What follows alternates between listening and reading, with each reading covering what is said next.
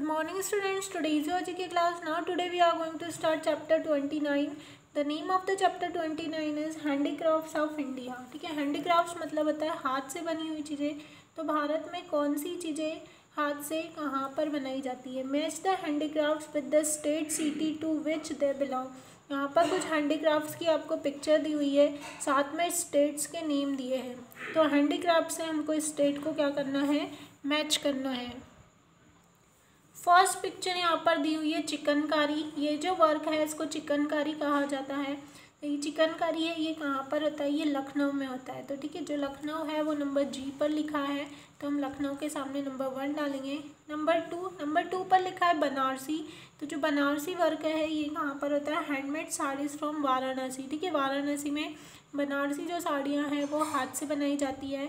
तो हम सी के सामने नंबर टू डालेंगे। नंबर थ्री है ढाकाई।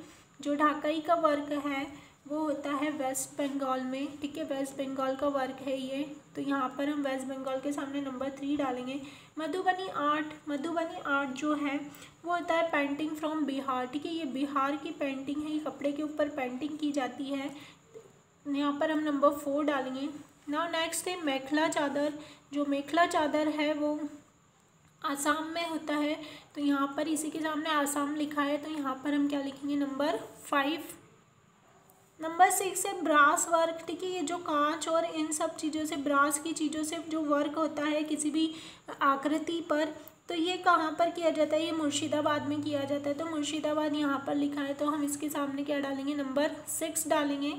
और नेक्स्ट है कोंडापली टॉयज़ ठीक है ये जो कोंडापली टॉयज़ है अलग अलग तरह के जो मिट्टी के इस तरह के अलग ही मिट्टी होती है, ये जो टॉयज़ बनाए जाते हैं, ये कहाँ पर बनते हैं? आंध्र प्रदेश में बनते हैं तो यहाँ पर हम नंबर सेवन डालेंगे। नाउ नेक्स्ट है वुड लेकवर वर्क लकड़ी से अलग अलग तरह की कलाकृतियाँ जो बनाई जाती है, ये होती है।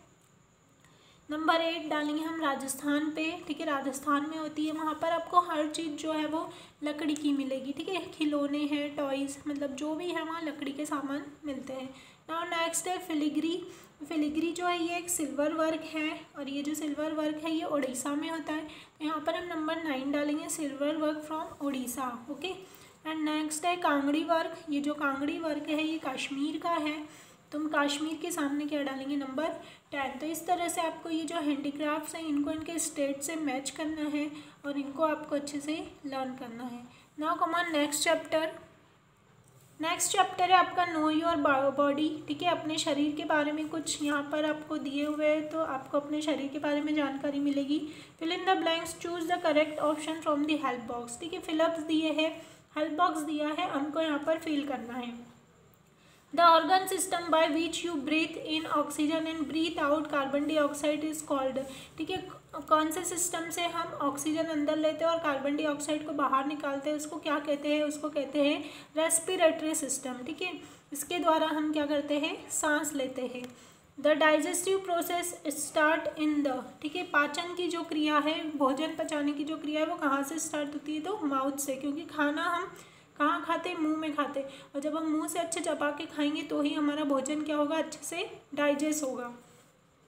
How long is an adult human small intestine ठीक है? एक एडल्ट मतलब एक मानव की जो छोटी आंत है, वो कितनी लंबी होती है? तो वो होती है ट्वेंटी टू फीट तो यहाँ हम क्या लिखेंगे? ट्वेंटी टू फीट बाईस फीट होती है। The movement of blood around the body is called the ठीक है बॉडी का जो ब्लड है वो सब दूर पहुँचाने वाला जो सिस्टम है, उसको क्या कहते हैं? तो उसको कहते हैं सर्कुलेटरी सिस्टम जो हमारी पूरी बॉडी में रक्त प्रवाह करता है। How many chambers does the human heart have ठीक है, जो मानव का, इंसान का जो हार्ट है, जो दिल है, उसमें कितने चैम्बर्स है? तो उसमें फोर चैम्बर्स है। A brain weight on an average ठीक है?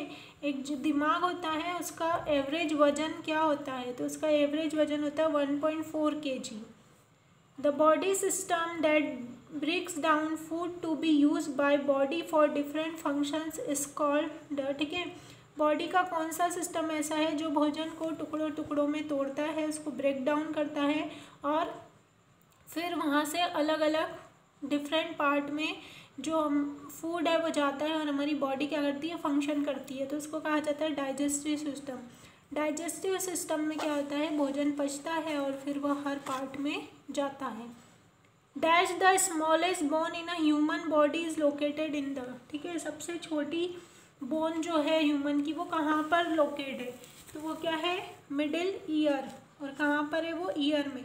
कान के सबसे बीचों बीच में, जो हड्डी होती है, वो सबसे स्मॉलेस्ट हड्डी है सबसे छोटी बोन है। How many bones does an adult human have ठीक है?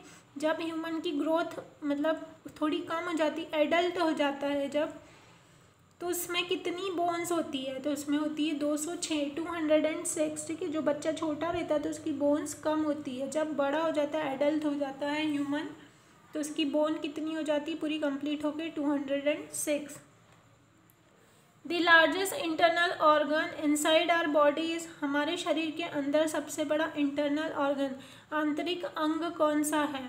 वो है लीवर, ठीक है? जो लीवर है वो सबसे बड़ा इंटरनल ऑर्गन है ह्यूमन बॉडी में। तो इस तरह से आपको भी ये अपनी बॉडी के बारे में जो यहाँ पर कुछ बातें दी हुई है, इसको आपको बुक में कंप्लीट करना है और इसको भी आपको लर्न करना है। तो यहाँ पेज नंबर फिफ्टी टू तक सभी बच्चे अपना जो वर्क है वो अच्छे से कंप्लीट करके रखेंगे। Thank you